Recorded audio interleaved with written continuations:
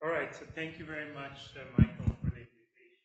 Again, uh, very glad to be here. Uh, probably uh, something that uh, people in the audience know here very well is, you know, if you have nanoparticles, you usually you can grow a crystal, and this crystal is going to grow until you run out of particles to assemble into a crystal. What I want to talk about is self-assembly of structures that grow to a critical size and then they stop growing. So self-limited self-assembly. And one example of such self-limited self-assembly is a, a, case of lipid bilayers. An example of such a of such a material is actually a lipid bilayers, something that is a hydrophobic core and a hydrophilic head, and you start assembling this liquid-like sheet and, you, and, and this, of course, is important in technology and biology. This is an EM picture of, a, of lipid structures within a vesicle, and they have this amazing shape to ability to create all of these diverse three-dimensional topological shapes. Something that, uh, that is interesting about the lipid bilayer is you might think that you could just grow a lipid bilayer laterally, uh, and it would continue to grow, but that's actually not the case, right? is if you can imagine a flat lipid sheet as shown over here, right? This is a one rod length sheet. And if you continue to grow this sheet, you have no bending energy, right? The sheet wants to be flat, but you have the edge tension. The edge of the sheet is exposed and that creates some line tension. And this line tension is going to increase as you increase the size of the sheet. It's going to be the di diameter, the circumference of the sheet times the line tension of the sheet. And so as the sheet gets larger, the, the edge energy increases. Now you can eliminate this edge energy by simply taking the sheet and folding it into a, an edgeless vesicle that eliminates the edge energy, but of course it takes some energy to bend a sheet into a closed vesicle. And that energy is actually independent of the vesicle size. Locally, the curvature goes as 1 over r squared, and then when you integrate it over the entire vesicle, you get something that is a constant, and it's just proportional to kappa. Kappa is the how difficult is it to bend the sheet.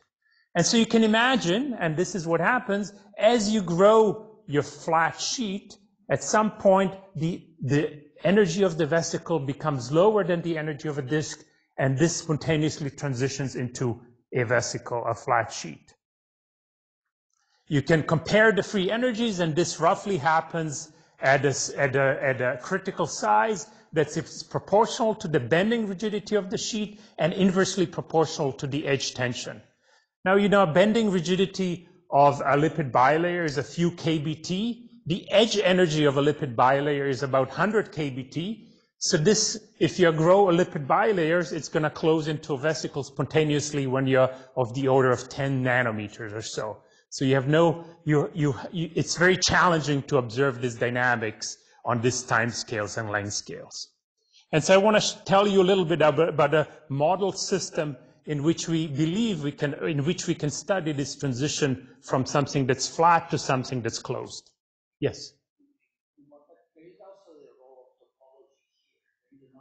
Yeah, there's this kappa bar, and I can discuss that. Happy to discuss that. I, I, yes, but I, I'm happy to discuss it. Uh, so how do we assemble these sheets, right? So, so this is our nanoparticle. This is a rod-like virus. It's about six nanometers in diameter. It's about one micron in length. And these viruses are, you know, uh, uh, good particles to study self-assembly. They are chemically homogeneous, not chemically heterogeneous. They are monodisperse. They have tunable, you know, we can engineer their chirality, their aspect ratio. We can engineer how rigid they are. And they are charged. And so, you know, there's salt in solution, and so there's effective diameter that's set by the ionic strength of the rods. What we do is simply mix these rods with a, with a depleting, with a non-absorbing polymer, and this induces something that's well known, a depletion interaction. What happens is when you have two rods, uh, you know, uh, there's an overlap of excluded volume. There's a higher polymer concentration of the outside than inside, and that leads to the attraction between two rods. Now, the rods attract in a very different way than spheres, because if you have rods, I don't know if you have these two chalks, which are two rods, right? They want to come together, but then they want to maximize the overlap length. And if they're, they're they, if they are in this configuration, they want to, you know, they'll minimize the energy by, by minimizing their center to center distance, right? And you can imagine if you take a third rod, a fourth rod, very soon you'll start to assemble a small sheet-like structure that's going to grow laterally in size. And that's indeed what happens, right? So now, instead of going, uh, now we switch to optical microscopy. And so this is a schematic of a small disc-like structure of, of aligned rod-like particles. This is viewed from the top. So there's about, this is a micron in size, few microns in size. So there's about 10,000 rods over here. This is viewed from the side, and this is one rod length thick.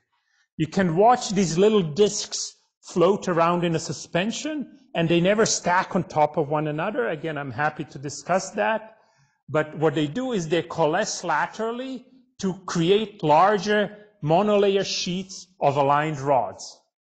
On long time scales, what you observe is you observe sheets. Again, this is from the top, this is from the side, this is you know, a very soft liquid uh, sheet. This is tens of nanometers in diameter. Again, all the rods here are pointing into the direction. This is sedimented on a top surface, and there's polymer that's holding this sheet together and preventing it from falling apart, right? So, so the concentration is determined by the osmotic pressure exerted by the polymer. You know, this is a system that is very amenable to different uh, uh, visualization techniques. So for example, here we label one out of 10,000 rods, and you can indeed see these rods as points, and you can see that this is a liquid-like sheet. These things have a mean square displacement that increases linearly with time. Here you can see a sheet that's edge on, and so this kind of view tells you what are the fluctuations on the elastic length scale, and then you can see what's happening on a microscopic length scale as well. So what I want to, you know, so, so, so these, in, in a certain way, these things do look like lipid bilayers, but there's a big difference is that lipid bilayers form a closed vesicle and these things form flat sheets. Why they kind of overlap but don't coalesce? When they're on top of one another? Yeah, why, why wouldn't they just coalesce into bigger ones? Actually, so that's what gave us a lot of trouble. Any junk that you have in the system will go to the edge. It doesn't want to go into the membrane. It doesn't want to go to the polymer. And that poisons the ends and suppresses them from lateral coalescence. And so this is the kind of normal system that you would see. These things would be tens of microns in diameter, right? Now we know what the bending rigidity is, and we know what the edge tension is. And so that tells us at what point should these things fold up into a, a closed sheet. And so this is a virus length. This is a wild type virus. It's of the order of one micron. And so if I increase the diameter at some point, this flat sheet should close up into a vesicle that's shown over here. But this is going to happen when the sheet is of the order of one millimeter, right? Or even larger. We are never going to see that. But the way that I can reduce this critical size where the sheet folds into vesicle is by reducing the virus length. The virus length determines the bending rigidity, and actually the bending rigidity goes as virus length cube. And so if I go down to 200, 300 microns, then the, the vesicles should form on the length scale of about 100 to few hundred microns. And so I might have a chance of observing this transition from flat sheets to, uh, to closed vesicles. Again, this is our wild type virus. Its length is determined by how long is the DNA. We simply chop the DNA. We can make these viruses anywhere from 100 to many microns. This is a 350 micron long rods, and this is what we'll be working on for the rest of the talk, right? And so you make these membranes out of these uh, shorter rods, and you know, and so this is what I want to discuss. Quickly go to these points. I want to show that these actually do form colloidal vesicles. And, uh, you know, and then I want to discuss the pathways that generate the vesicle and the pathways by which a vesicle disassembles into a flat sheet. So we made these colloidal vesicles with 350 nanometer rods. We had to really worry about this poisoning of the edges, and that took us a few years to solve, but now it works pretty well. And this is a, uh, you know, a, a, a, confocal reconstruction of a three-dimensional closed vesicle. You know, again, this is about 100 by 100 nanometers in, in, in size, right? And so this really looks like, uh, you know, your donut of the German variety, not the American one, I guess. Uh, you know, what you can, you can see is that its vesicle actually, you know, this is the, the XZ profile, it's getting compressed because they are so large that the gravity is distorting them, right? And again, you can continue, you know, we, we observe uh, uh, these vesicles that are assembled from these rod-like nanoparticles, and they range in size from something, you know, that's quite small to something that's quite a bit larger. And this is the average volume of the vesicles, volume cubed, right? And so, you know, this is hundreds of microns in size, and you can really see that they almost look like red blood cells, but on a much larger length scales.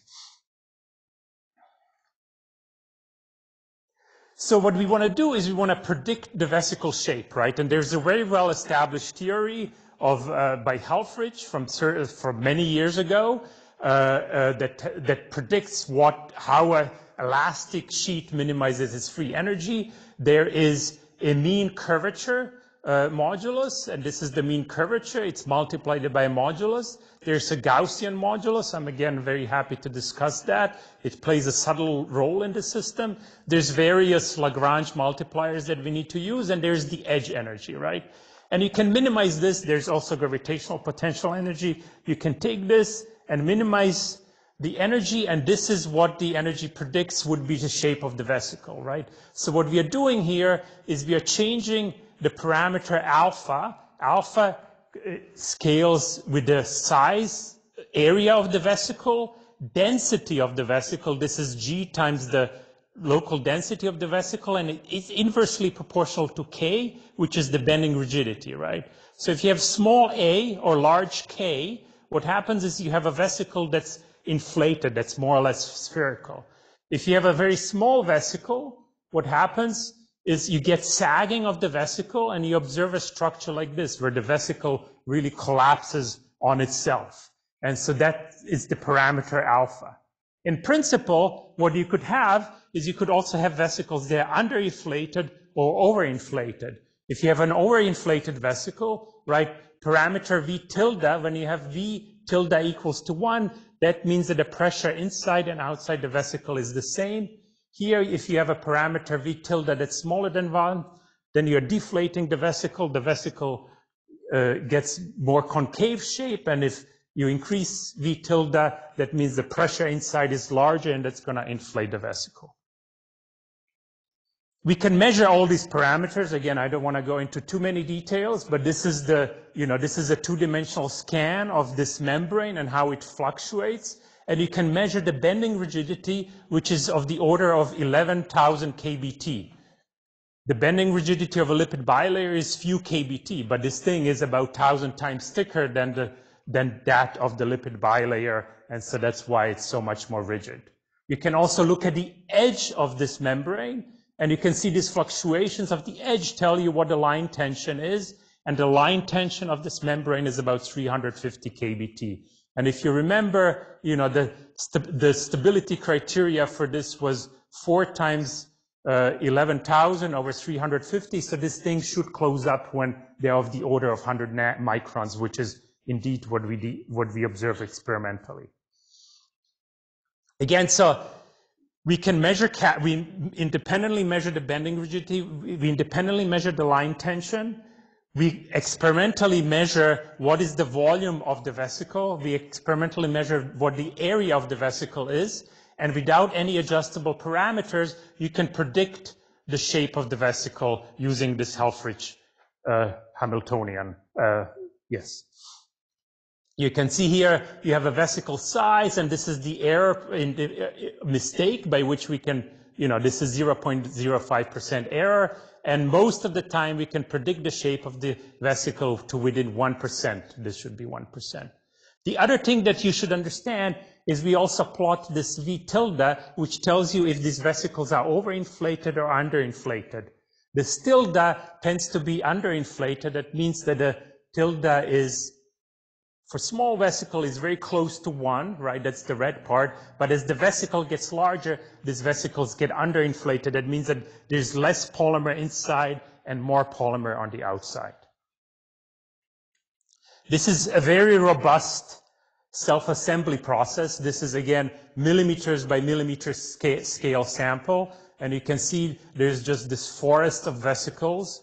And if you zoom in, most of these vesicles actually closed up. And what we actually want to do is we, you know, here the analysis becomes very challenging because of the, because vesicles interact with one another. But, uh, you know, so when we do analysis, we look at isolated vesicles. These things are very large. These things assemble on a very small time scale. And so we have a unique opportunity to actually visualize the dynamics by which these vesicles form and by which these vesicles disassemble. And so how do we assemble these vesicles? Again, you have this nanoparticle sheet. And, you know, what I haven't talked about is gravity, but if you just let it assemble onto surface, what you'll see is that it starts gently curving on the surface, but it will rarely, if ever, close by itself if it has to work against the gravity. So what we do is we take a sample like this, experimentally we just flip it by 180 degrees, and then the gravity is helping you, and you can see that this sheet starts falling down and starts forming this vesicle-like structure, and here the pinching has not quite finished yet, right? This is a very large scale event. Again, this is zoomed out and you can see all of these sheet, liquid sheets sedimenting down to the bottom and forming these closed vesicles.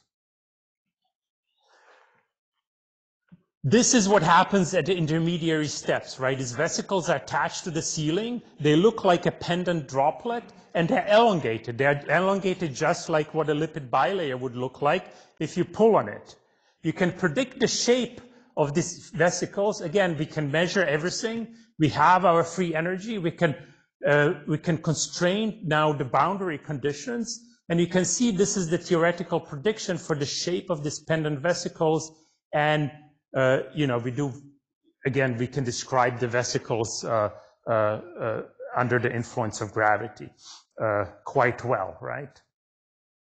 This is a movie of a, of a, of a vesicle as, or, or of a vesicle information, right? So you get this pendant membrane droplet. It's slowly elongating. This is of the order of few hours, right? So you have a lot of time to watch this dynamics.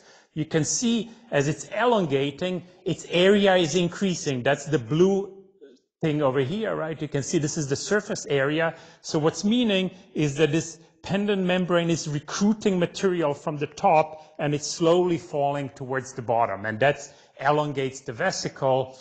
And at some point, uh, uh, you know, this is a very slow process and this is actually determined, the dynamics of this sedimentation is determined by the rate at which the polymer can go through the neck and into the interior of the vesicle. Now in the second part, this is what happens. You, you get a fracture-like event, and the vesicle forms to the bottom, and then once the fracture occurs, you get this very thin ribbon-like structure that connects the vesicle to the ceiling of the material. You can see this twisting motion, and at some point, this movie actually takes a bit of time, you'll see that there's going to be a rupture event. There's still an opening here, right? And, at, you know, uh, at some point, there's going to be a rupture here, and this tether is going to retract, and the vesicle is, will spontaneously close.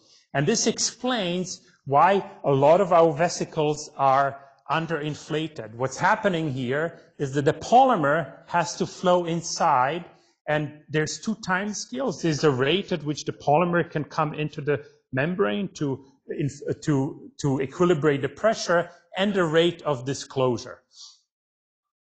And so, for example, here you can see uh, in a probably better resolution, another closure event where this vesicle is formed and, uh, you know, where this neck ruptures and the vesicle closes upon itself.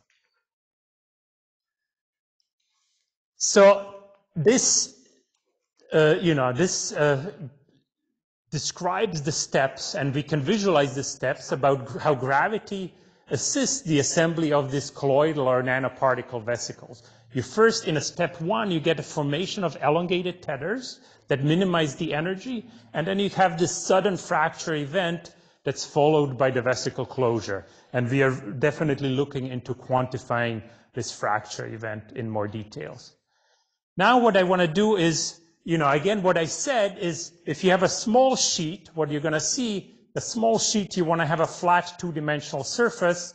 A large sheet is a closed vesicle. What we really want to do now is we want to start with a vesicle and simply shrink it and see by, by a pathway by which a closed vesicle is going to rupture and form a flat sheet.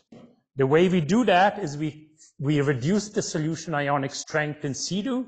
That increases the repulsive interactions between the charged nano, nanorods that leads to their slow evaporation and that slowly shrinks the area of the vesicle. And at some point, you're going to cross this barrier and form a flat sheet. But the dynamics by which this kinetics proceeds is nothing but obvious. So for example, here, this is the area, and this is how fast the area is decreasing, right? And so you can see on the order of five to six hours, the area is roughly reduced. And that's because the rods are slowly leaving the membrane and the membrane is getting smaller. And so you can see here, this is initiated by an event. The vesicle is getting smaller. There's polymer encapsulated within the vesicle. And the polymer builds up pressure, which builds up the surface tension onto the membrane. And so what that leads to is creation of small pore that nucleates and opens and the polymer can then escape through the pore. It releases the tension in the membrane and the, and the membrane closes up on itself, right? And this, you have this dynamics of pore nucleation, growth and resealing, and it repeats many, many times until the vesicle gets small enough to disassemble. This is a three-dimensional reconstruction of the vesicle. Again, you can see, you know, we can visualize this in 3D. You can see these pores continuously open and close. Again, this is a fluid membrane. You know, once you rupture it, it can self-heal. And this is going to continue for, again, several hours as this vesicle is getting smaller and smaller. Eventually, you're going to get to this regime where the vesicle is so small that the pore cannot close itself anymore, right? And that happens, I think, at this point over here, right? So here you have a pore, and this pore will no longer close and you create this kind of sem stable semi-bulbous shape that's shown over here. Now, if you continue to watch this, something quite surprising happens. You start with this structure. It's a semi, it's a fairly, you know, it's a metastable structure. You have this opening and this thing wants to transition into a flat sheet. So what happens, and this was quite unexpected, is you actually nucleate a second pore and you create a tube-like structure, and this tube-like structure then transforms into a sheet, right? Why this is happening is entirely not obvious, right? You wouldn't, you know, you would not really expect this. But I think we have some insight and intuition for why this happens, right? Again, this happens, you know, this is an example of this two pathway disassembly. You have one pore you create a, you nucleate a second pore, you grow this kind of disc-like, uh, tube-like shape, and you know at this point you have the tube has the same opening on both sides, and then at some point one of the openings starts closing and the other opening grows, right? So there's uh, if you reduce the size of the vesicle much faster, right? So for example, over here, what happens is you can also get a one pore disassembly, right? Here you have one pore, it starts opening, and eventually you just create a flat sheet as is shown over here. Again, this time scales are hundreds of minutes, this time scales are tens of minutes. This is just a movie of this one pore transition, for example, over here, right? You can see a bunch of these vesicles. They are slowly evaporating. Once they reach a critical size, they slowly transition into a flat sheet, and this happens quite robustly. So what, you know, in, in the last five minutes, I just want to, you know, tell you a little bit about insight about what governs this dynamical pathway, right? So what you can do is you can look at this structure at any point during this, this assembly, right? And so here I, I know I've measured the three-dimensional surface. I know what the area is, uh, and you know what the volume is, and you can simply fit, this is the theoretical prediction, and this is the experimental measurement. So this dynamics of this assembly is happening slow enough that at any point, the structure minimizes its free energy or its, its energy, right? And, you know, again, it does a pretty good job because this process is so slow. So now what you can do is you can plot the free energy landscape. And this is, for example, a free energy landscape for very large vesicles, where vesicles are, where vesicles are stable. This is a very large area. R1 is the opening of one pore, and R2 is opening of the second pore. And you can see that the global minimum is when R1 and R2 are zero. You know, this is a stable vesicle situation, right? The spore, uh, the pores, when they are created, are unstable and the vesicle closes up on itself. Now, as you reduce the vesicle area, at some point, this becomes metastable, right? And actually, this is the point, the free energy landscape where things become interesting. What here you can see is now you have a metastable vesicle. The global minima is when either R1 or R2 are infinitely large, right? This is the this is a local global minima, and this is a local minima, right? This is a minima where you actually have two small openings, right? Now you can see if I want to go from here along this pathway, you can actually see that there is a barrier along this pathway to go from one to the other, right? And the fastest way down this free energy landscape is to actually go along this pathway, right? So this is the pathway in which both R1 and R2 are opening at the same rate. And then you reach the saddle point, and then once you reach the saddle point, you decide to go either uh, in this direction or this direction where either R1, uh, one opening starts growing and the other opening starts shrinking. And so this is the pathway, you know, you can start from something like, he, like this point and go down the fastest minimum descent. And this is what the theory would predict. And qualitatively, this works pretty well compared to the experiments that we see. Um, so this is, you know, this is the this is the pathways of vesicle disassembly, right? It's a two-step pathway. You first have this vesicle contraction, which is really a cascade of pore opening and pore closing, and this is actually something that's been observed and studied in lipid bilayers, but in this system, you know, because of the length scales and time scales involved, you can directly visualize a lot of the dynamics of this. And then you have this vesicle to disc transition that is explained by this free energy landscape, we believe. So what is the outlook, right? So, so the systems now work pretty well. Uh, uh, you know, uh, when they work well, they work pretty well. So something that we would like to do in the future is, you know, photo cross-link vesicles, right? So, so these things have about 30% water content, right? So they, are, they have very well-defined pore sizes, and one could imagine that one could for, form this self-assembled vesicle and then photo cross-link it, and this would be, uh, you know, uh, a nanometer size filtration uh, device uh, that would probably be quite photoselective, right? The other thing that we want to do is we want to visualize the mechanism of pore nucleation. Right now, what we do is we just use confocal microscopy. We can visualize these things with a time resolution of 10 seconds. We are doing, we are developing tomographic imaging in my lab, and that should speed up our imaging by about, you know, at least two to three orders of magnitude. And so we are hoping to really say what happens in the vesicle when you nucleate that pore, and that's a challenge. The other thing that you can do is, for example, take vesicles. This is, this is sheets, and these are sheets of two rods of different chirality, and in two dimensions, the sheets actually spontaneously phase separate and form these finite size rafts. And so something that we would be very interested in is actually taking these kind of uh, heterogeneous uh, structures and folding them into vesicles. And we can control the size of these rafts in quite a bit of detail.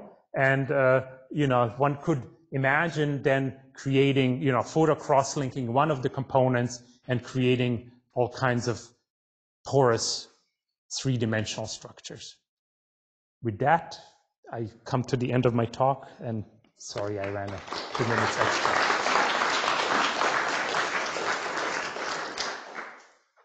Thank you very much. Thank you very much for a beautiful talk. Um, I was intrigued, you already mentioned here chirality. So these FD virus particles are chiral. Yes, And if you have these membranes, uh, the membranes are chiral at the outside or at the boundary. Does chirality play any role in the self-assembly and disassembly of the vesicles? I saw, for instance, that the tether is, I think, chiral or not. The chirality plays a very large role in determining the structure of the edge, which determines the edge tension, which determines, you know, uh, what the vesicle stability is and what the pore stability is. The structure, you know, the struct, the rods are point aligned normal to the membrane within the membrane, and then they tilt 90 degrees at the edge of the membrane. And so that, you know, if you actually reduce the, if you increase the chirality, you can in, reduce the edge tension, which is actually going to suppress the vesicle formation. But that's something we want to study, for example, when you have a pore, what happens, the pore first has to nucleate, and then we believe, you know, the rods will locally tilt to stabilize the pore, right?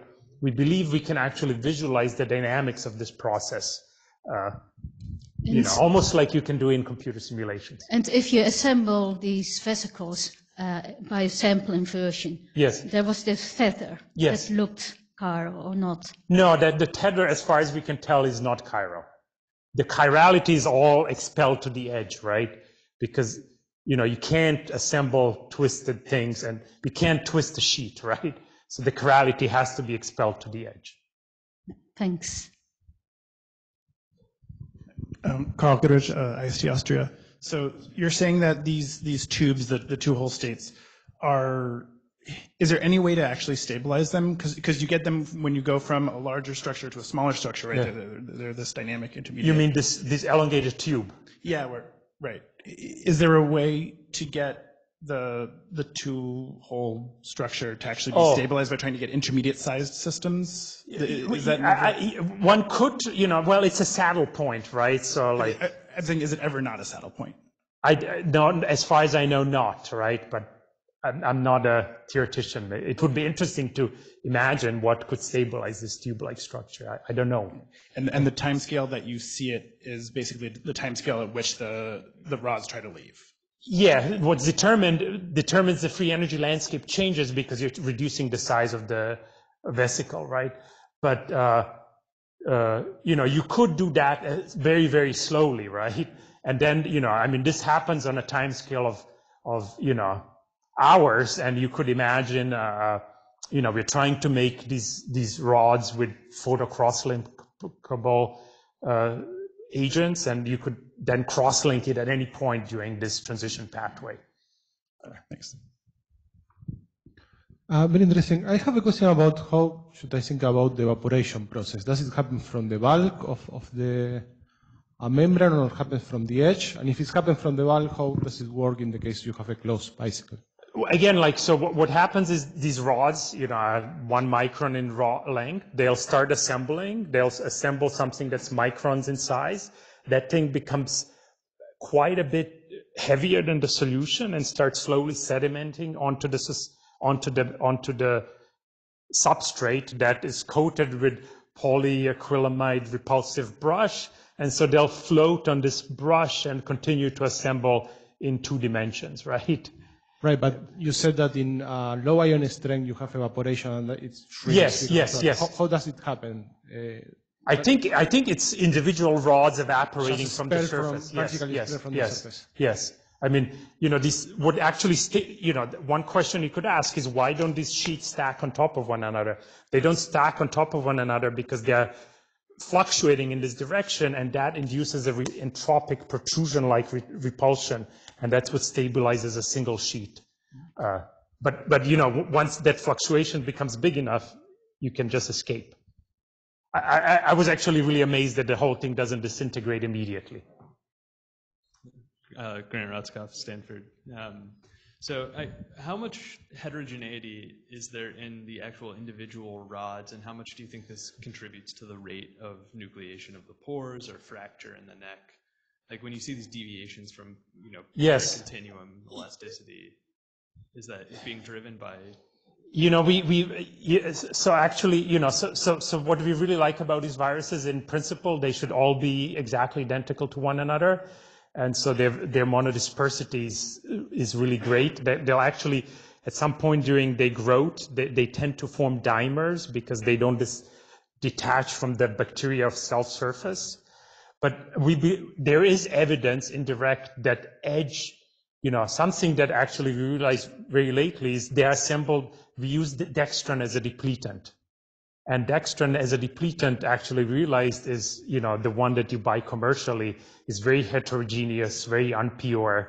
And so, for example, you know, if you use that dextran, what that, that dextran will actually have some heterogeneities that we believe absorb onto the edge and suppress the growth. And actually purifying the dextran was the main trick to getting these things very, very large. But you know, you'll see like if we work with unpure dextran, the edge tension is gonna uh, exhibit in- intriguing instability from which we can actually measure the Gaussian modulus, which is about 25 kBt, so really, really tiny. Um, yeah, uh, I, I have a question about these two uh, stable points, uh, uh, one fixed and uh, one, one uh, uh, or rather two, two fixed points, one, one stable, another um, mm, point, Yeah. where the two side, uh, the two radii are the same. Do you have sketches of, of how the, what, what the shape of the overall thing is uh, for for this red and yellow?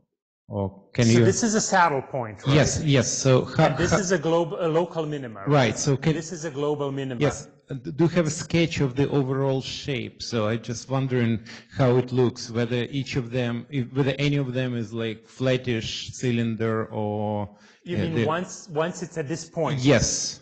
I, I think it's pretty close to, you know, I mean, it would look something like this, or, you know, once Okay. it's close. Actually, this is this point, this is Uh-huh. this point, so this would Ah, be the so shape it's of- close to cylinder there. Yes, Okay. yes. Okay. Thank you.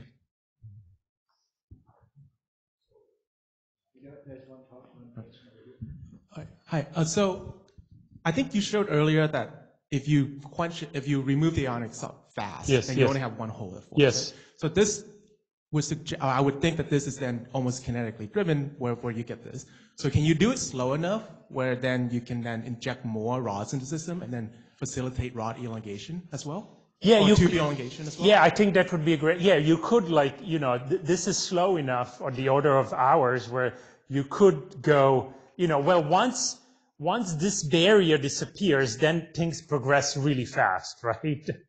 So I don't know if we can trap it here because there is no local minima to trap it, right? So, but one could, you know, play around with, you know, we have a dialysis system where we can dynamically change ionic strength and we are free to explore the phase diagram to the extent where, you know, where there's a local minima, we could probably trap it. It's, basically going to try and minimize that surface area. Yes. So you give it free monomers, it can grow. Yes, no, we could grow, right? I, I, it, it's a little experimentally, it's maybe a little bit tricky to introduce rods because the dialysis, they'll diffuse very slowly, right?